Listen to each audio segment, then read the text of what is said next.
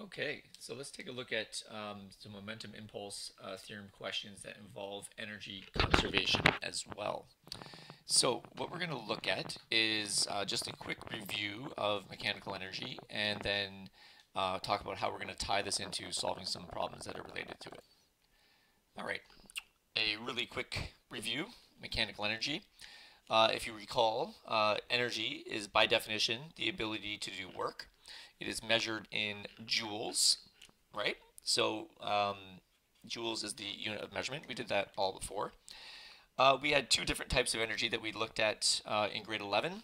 Uh, one was gravitational potential energy. E subscript g equals the mass times the gravitational acceleration times the height above a reference point. Um, and the kinetic energy is uh, 1 half mv squared, or you can write it as mv squared over 2. Now, if you recall how we got to those, um, it was through this work formula. And so, you know, work is defined as the change in energy. Okay, it could be kinetic, potential, or both. It's actually any, it could be thermal, it could be anything, um, that change in energy. Now, all these equations, both the mgh and the mv squared over 2, they derive directly from f delta d, or the full one is, it's the dot product of two vectors, so f vector dot d vector. And if we're looking for the scalar value of it, it's f delta d cos theta. Um, but for the problems that we're going to look at um, in this course, like this, we're going to assume the angle is 0 and the cosine of 0 is 1, so we're just going to use f delta d. Now what we did last year is we said, well, what's the force being applied to an object? Um, and so that's mass times acceleration, which gave us the MAD equation, ma delta d.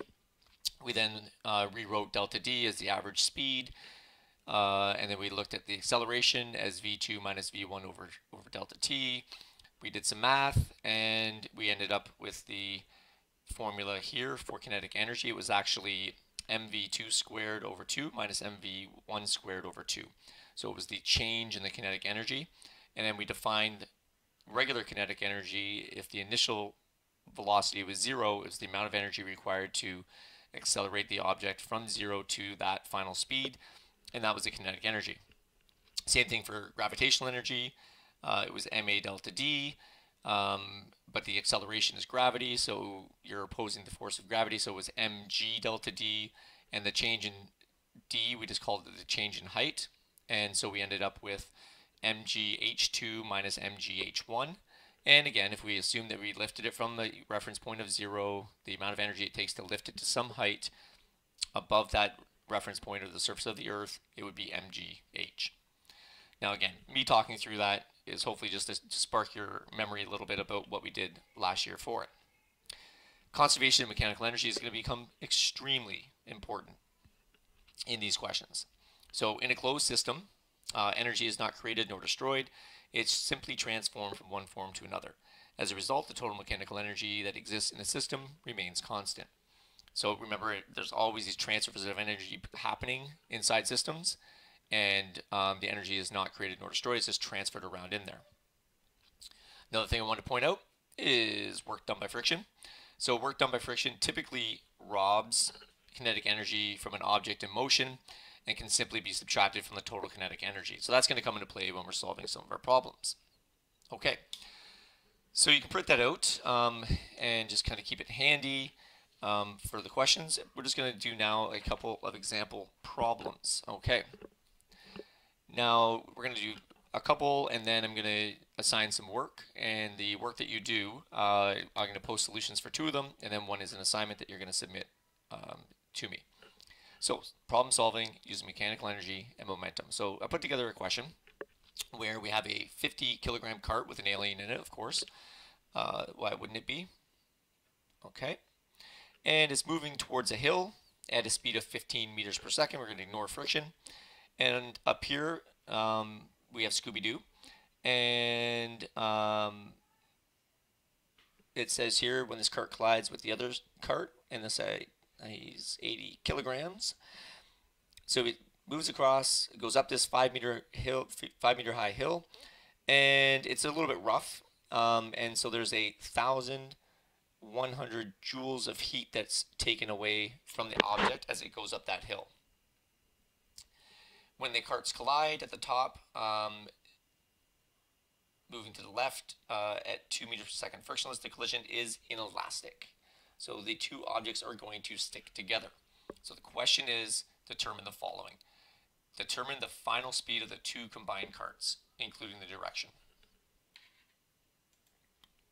Okay, so the question is really asking you, they're going to collide at the top up here somewhere, and then they're going to start moving together.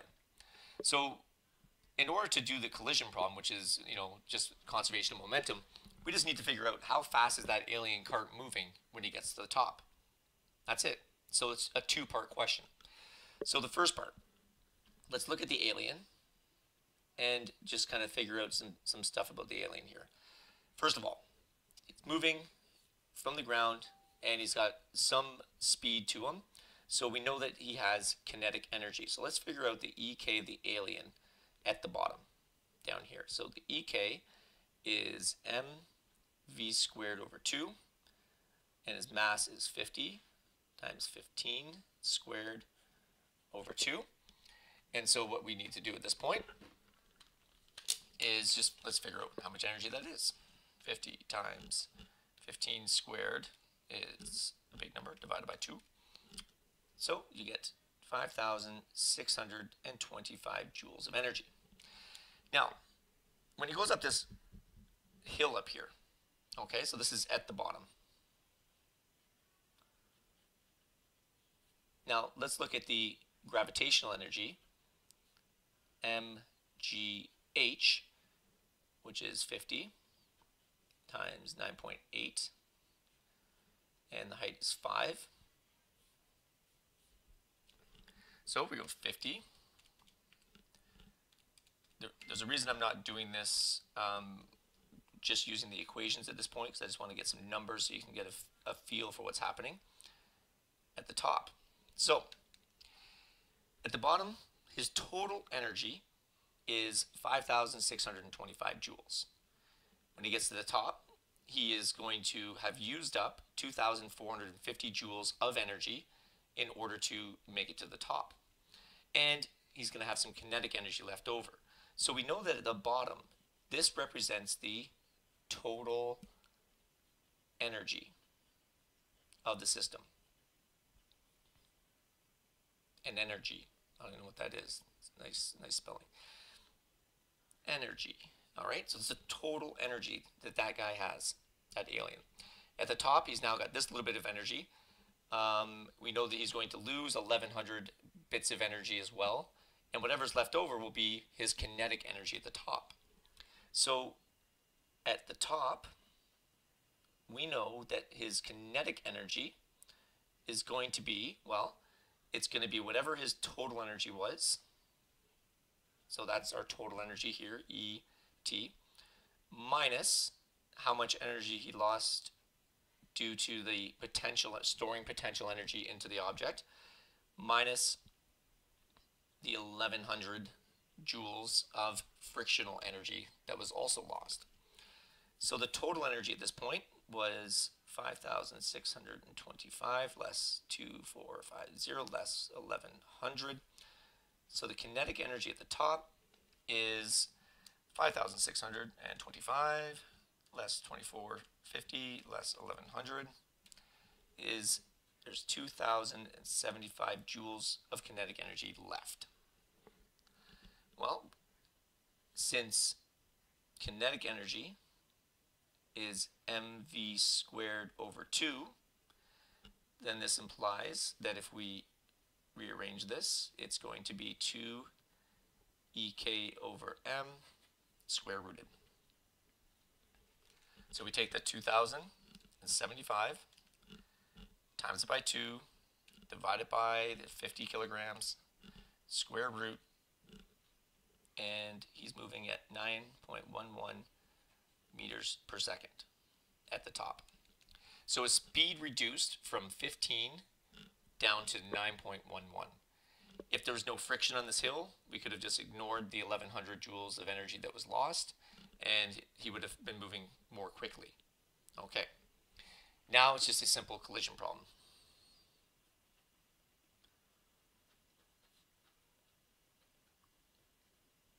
We're going to assume or pick a direction to be positive. I'm going to make to the right positive.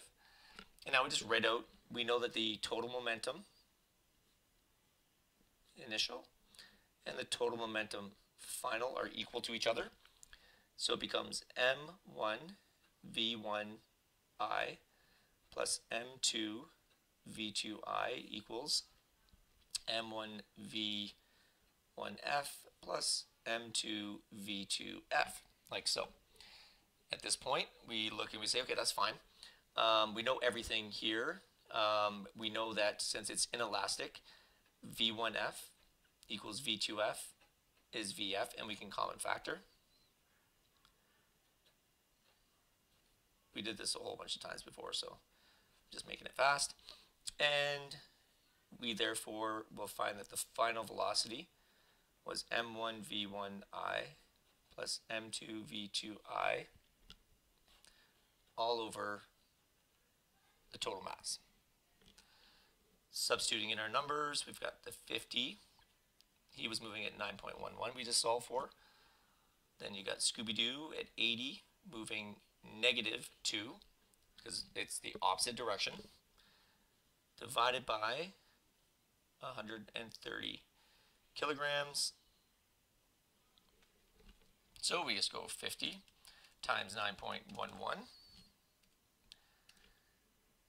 less 160 divided by 130 is 2.27 meters per second. And it's to the right because it's positive. If it was negative, it'd be moving the opposite way. So even though the, the cart, the alien weighed a little bit less, or sorry, had less mass than Scooby-Doo, he was moving quicker, so there was more momentum in the positive direction than there was negative momentum from the other object. And so that's the final combined speed. So Scooby-Doo changed his speed from 2 in one direction to 2 in the opposite direction, which is a change of like 4 uh, meters per second, um, which is a lot. And the other one, he went from uh, 15 all the way down to 2, so he lost about uh, 13 meters per second of speed. Okay, so we're just going to look at another quick example uh, on the next page, and then you can try uh, some of these problems on your own. Okay, so for this type of problem here, um, we've got a 3 kilogram cart moving at 8.5 meters per second to the right, and there is a uh, 2 kilogram cart that is stationary, and they're going to collide and stick together uh, since it says the collision is inelastic. The question is, how high up the ramp do they go? Okay, so let's look at the collision first. Um, we know that the total momentum um, before is equal to the total momentum after. So we would write MA V A I plus MB VB I equals MA V A F plus MB V B F. Okay. And since it's a uh, inelastic collision, the final speed of them is this.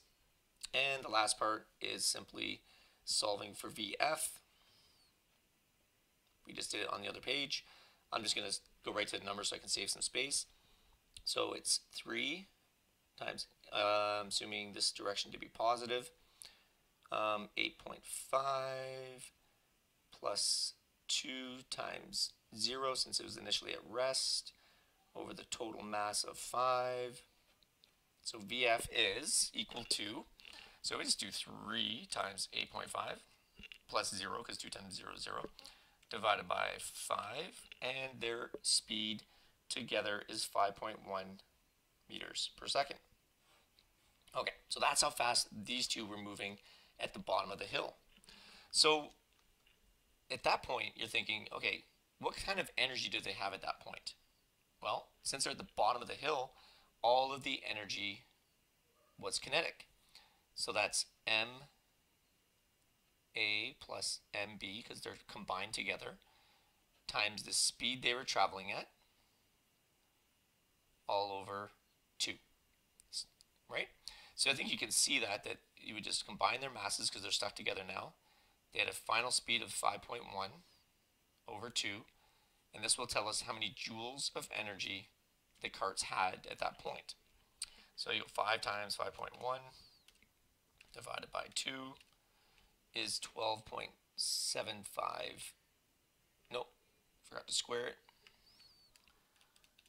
5.1 squared times 5 is this divided by 2 is 65.025 joules. Okay, so that's how much kinetic energy it had at that point.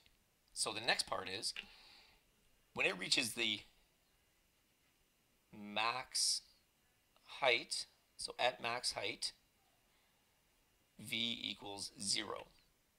It stops moving. So if it stops moving, then that means that all the EK becomes EG. So EG would equal the EK, and that would be MGH, which must equal 65.025. And so we solve for the height by taking the 65.025, dividing it by the combined mass. This is mass of AB. And the gravitational acceleration. So 65.025 divided by 5 divided by 9.8 is 1.33 meters. That's how high up it would go. Okay, now you could have done this all algebraically. I didn't have enough space. You could have written this equation here for VF, left in the MA, VAI, all that stuff. You could have substituted it in over here, left it all and substituted all that stuff into there. You then could have set that equal to MA plus MBGH and then rearranged and solve for H and you could have got a nice big fancy equation that you could then you know write a computer program for and just say well how fast is what, the, what are the two masses and how fast are they moving? And plug it in and get your answer. And you would solve it um, very nicely. So that's something neat to try if you have space or you want to give that a shot. Uh, try that out. Okay so now let's say that the slopes change. The original slope looked like this and the other slope looked um, like that. The question is the slope of the ramp change. The cars will reach, will they reach a higher height, the same height, or lesser height? So I want you to think about that and put it on pause for a second. Okay, so I hopefully you all agreed that it would still just go to the same height. So if it made it up to a height of 1.33 here, it will make it to a height of 1.33 here. Clearly it will travel further but it will make it to the same height. If this was less sloped, it would still make it to the same height. No matter how little or how steep you make it, right? It will always, now it's going to be off the page, but it would still make it to that same height further down. It just travels a bigger distance. And that's because the amount of gravitational energy must be the same in each case right? Because it's the it's the gravitational energy that you're storing from all that kinetic energy that will tell you how high it would go to. Okay, so what you're going to do now is try the inelastic and elastic collision problems. There are two problem sets for that, and then there's a collisions assignment. I'm going to post the solutions for the first two, um, and then the assignment you're going to hand in.